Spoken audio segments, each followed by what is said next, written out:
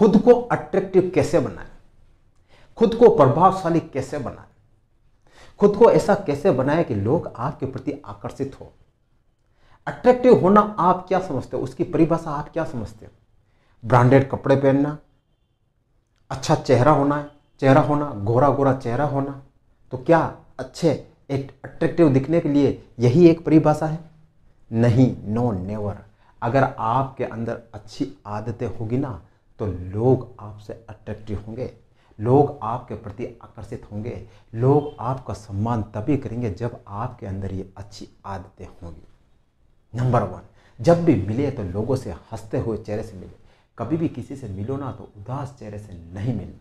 ध्यान रखना, उदास चेहरे वाले व्यक्ति के कोई भी मित्र नहीं होता है। अगर आप हर वक्त उदास रहोगे ना तो लोग यही कहेंगे, अरे यार कुछ नहीं यार, हर वक्त वो रोना रोता रहता है। उसके चेहरे पे तो हमेशा उदासी रहती है। और हर वक्त वो तो उदास रहता है। इसीलिए ध्यान रखना कि उदास व्यक्ति का कोई भी मित्र नहीं होता है। इसलिए जब भी आप लोगों से मुस्कुरा के मिलोगे ना तो लोगों के ऊपर एक अलग ही प्रभाव पड़ेंगे। लोग आपके प्रति आकर्षित होंगे। शर्माना छोड़े।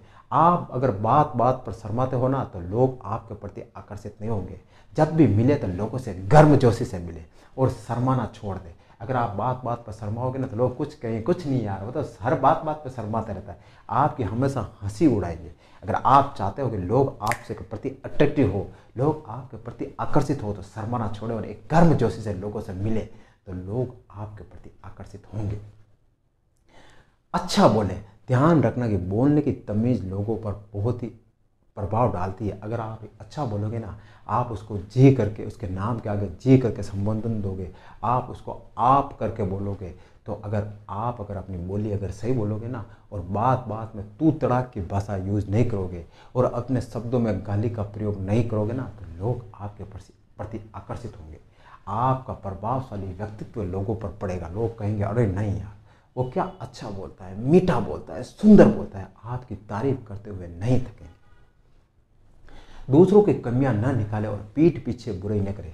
अगर आप बात बात पर दूसरों की कमियाँ निकालोगे और अगर बात बात पर पीठ पीछे बुराई करोगे तो लोग आपसे दूर होना शुरू कर देंगे।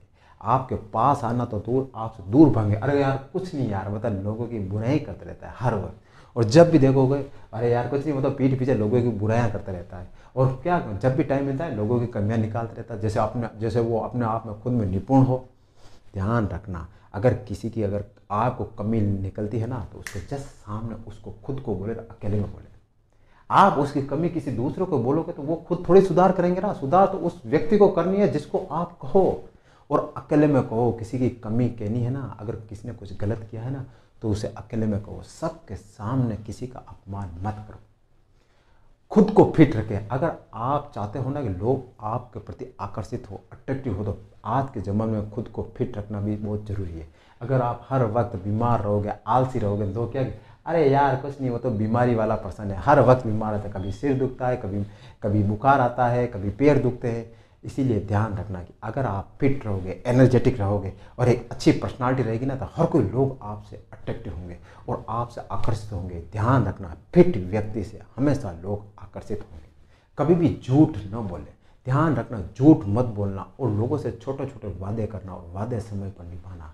जो व्यक्ति कभी झूठ नहीं बोलता है और हमेशा लोगों के किए गए वादे निभाता है ना, लोग उसके प्रति भी आकर्षित होते हैं। उसके व्यक्तित्व की लोहा मानते हैं। क्यों मानते हैं? क्योंकि वो व्यक्ति जो भी बोलता है, फैक्ट बोलता है और हमेशा कभी झूठे वादे नहीं कहता है। जो कह दिया, वो करके दिखाता है। ऐसे लोगों भी दूसरे लोगों के प्रति सम्मान करते हैं और उनसे आकर्षित होते हैं और उनके व्यक्तित्व की ये सराहना करते हैं कि, नहीं यार वे व्यक्ति तो जो भी बोलता है, फैक्ट बोलता है। और कभी भी वो दूसरों के सामने ये ज़रूर कहते हैं नहीं यार, वो वादा करता तो वादा ज़रूर निभाता है। लोगों का सम्मान करें। जब भी कोई लोग मिले ना, उनको सम्मान से, उनका व्यवहार करें। अगर आप किसी व्यक्ति को सम्मान नहीं दोगे ना, उसको तू तड़ा करके बोलोगे और उसको मतलब एक आप हीन भावना की तरह से दर्शाओगे ना तो ऐसे व्यक्ति भी आपकी तारीफ़ नहीं करेंगे। आपसे दूर भागेंगे। इसीलिए अगर अपना व्यक्तित्व तो प्रभावशाली बनाना है, अगर आप चाहते हो कि लोग मेरे प्रति अट्रैक्टिव हो तो सबसे पहले लोगों को सम्मान दीजिए।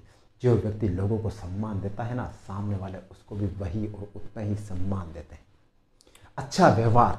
लोगों से हमेशा अच्छा व्यवहार करना। आप चाहते हो कि लोग मेरे प्रति अच्छा व्यवहार करते हैं तो आपको लोगों के प्रति अच्छा व्यवहार करना होगा। आप खुद ही अच्छा व्यवहार नहीं करोगे तो लोग आपके प्रति अच्छा व्यवहार क्यों करेंगे? इसलिए अपने व्यवहार में विनम्रता लाइए, अपने व्यवहार में सहनशीलता लाइए। लोग आपके प्रति अट्रैक्टिव होंगे, लोग आपके प्रति आकर्षित होंगे, लोग आपके व्यक्तित्व का प्रभावशाली व्यक्तित्व को मानेंगे कि नहीं यार वह व्यक्ति यार, बहुत अच्छा व्यक्ति है। लोग आपसे आकर्षित होने लग जाएँगे।